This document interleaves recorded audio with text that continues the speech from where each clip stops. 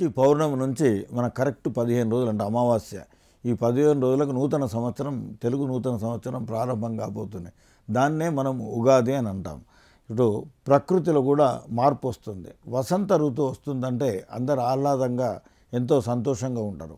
ఇప్పుడు ఈ కాలం ఏమిటిదనంటే ఇటు నిన్నటి వరకు మొన్నటి వరకు చలి శివరాత్రి వరకు చలి ఉండే చలి తగ్గిపోయి ఇప్పుడు తగ్గుముఖం పడుతుండేది. ఒకవైపు ఏమిటిదంటే వేడి సూర్య యొక్క తాపం మొదలవుతుంటుంది ఈ రెండింటి మధ్యలో ఉంటుంది. ఇటు ఒక రకంగా చలి తగ్గిపోవడం వేడి అనేది పెరగటం. ఈ రెండింటి మధ్య ఇది ఒక ప్రతి ఋతు మార్పు ముందు ఇవి జరుగుతూ ఉంటాయి ఎందుకంటే ఆ ఋతులో ఉన్నటువంటి ఆ ప్రభావము చలి కావచ్చు వర్షం కావచ్చు తర్వాత రావచ్చిపోయే మిగతా తర్వాత ఋతు ప్రభావం ఈ రెండు కలిపి ఉంటాయి ఇప్పుడు ఈ పౌర్ణమి వరకు.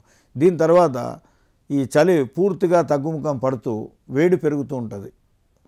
రోజు రోజుకు వేడి ప్రభావం పెరుగుతుంది. ఉగాది వరకు వచ్చేసరికి ఒక స్టేజ్కి వస్తుంది అన్నట్టు అంటే అప్పటికి మనకు చాలా రకరకాల ఈ సీజన్లో కూడా మామిడి కాయలు రావటము అట్లాగే వేప పువ్వు ఇవన్నీ కూడా మనకు కావాల్సినటువంటి ప్రకృతిలో సంపద ఆరోగ్యానికి మళ్ళీ ఇవన్నీ భవిష్యత్తులో ఆరోగ్యంకి ఉగాది అప్పుడు దీని గురించి చెప్పుకోవడం జరుగుతుంది మనం చెప్పుకుందాం. ఇవన్నీ కూడా వస్తుంటాయి.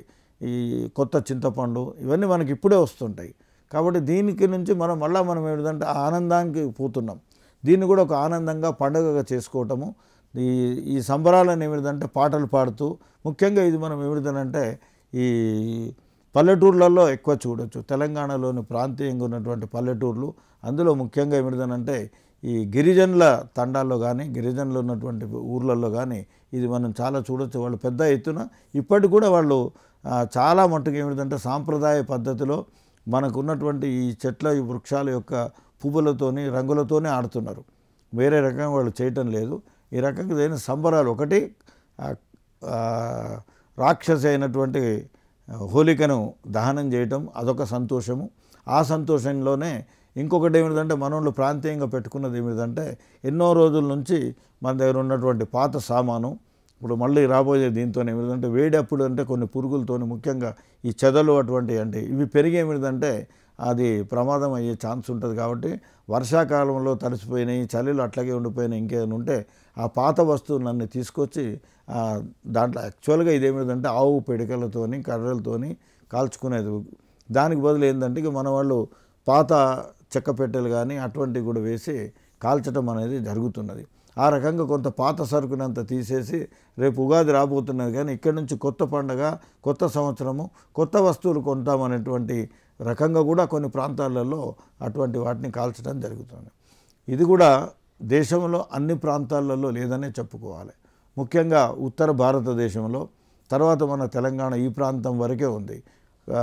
ఆంధ్ర ప్రాంతంలో తెలంగాణ ఆంధ్ర రా ఆంధ్రప్రదేశ్ ముందు ఒకటిగా తెలుగు రాష్ట్రాలు ఉభయ రాష్ట్రాలు ఒకటిగా ఉండే కాబట్టి కొంత ప్రభావం అక్కడ కూడా ఉంది. అక్కడ కూడా కొన్ని ప్రాంతాలలో కొన్ని పట్టణాలలో ఇప్పటికి కూడా ఈ హోలీని వారు ఆచరిస్తూ ఉంటారు. కానీ తమిళనాడు కేరళ అటువంటి రాష్ట్రాలలో హోలీ ప్రసక్తి లేదనే చెప్పుకోవాలి. ఇది కూడా ప్రాంతీయంగా ఉంది. ఇక్కడ ఉత్తరాది రాష్ట్రాలలో ఎక్కువ ఉంది. ముఖ్యంగా మధుర మధుర శ్రీకృష్ణ జన్మస్థానం. కాబట్టి అక్కడ ఎక్కువ ఉంటుంది. అక్కడ వాళ్ళు చాలా పెద్ద ఎత్తున అక్కడ వారం రోజులు పదిహేను రోజులు కూడా ఈ ఇప్పుడు ఈ పౌర్ణమి నుంచి ఉగాది వరకు కూడా పన్నెండు రోజులు కూడా వాళ్ళు ఈ రంగులు ఆడుకోవటము ఇవి పాటలు పాడటము నృత్యాలు చేయటము శ్రీకృష్ణుడికి ఇష్టం కదా నృత్యము ఇవన్నీ చేస్తూ ఉంటారు. అక్కడ చాలా ఆడంబరంగా ఈ పండుగను జరుపుకుంటూ ఉంటారు ఉత్తర అట్లనే ఉత్తరప్రదేశ్లో కూడా చాలా ప్రాంతాలలో ఇవి జరుగుతుంటాయి మనము అదే పరంపరలో ఇందాక చెప్పాను కదా మహారాష్ట్ర తర్వాత కర్ణాటక మనకు కొంత అవినాభావ సంబంధాలని మన అలవాట్లు వారి మనం అన్నీ కలిసి ఉంటాయి కాబట్టి సాంప్రదాయంగా తెలంగాణ ప్రాంతంలో ఈ పండుగ ఎప్పటి నుంచో జరుగుతున్నది. దాన్ని మనం ఈ- ఈ ప ఈ పౌర్ణమి నాడు జరుపుకోవటం జరుగుతుంది. అందరూ కూడా చాలా జాగ్రత్తతోని ఇందాక చెప్పినట్టు ఈ రసాయన పదార్థాల జోలికి పోకుండా పండుగను ఒక పండుగ సంబరంగానే చేసుకోవడం బాగుంటుంది. అపస్థుతులు కలగకుండా అవి అనాలోచిత కారణాల వల్ల ఇబ్బందులకు పాల్గాకుండా అందరూ దీన్ని ఈ పండుగను శుభప్రదంగా చేసుకొని పండుగ యొక్క పర్వాన్ని ఆస్వాదించాలని మరీ మరి కోరుతూ సర్వే జన సుఖినో భవంతు. శుభం భూయాత్.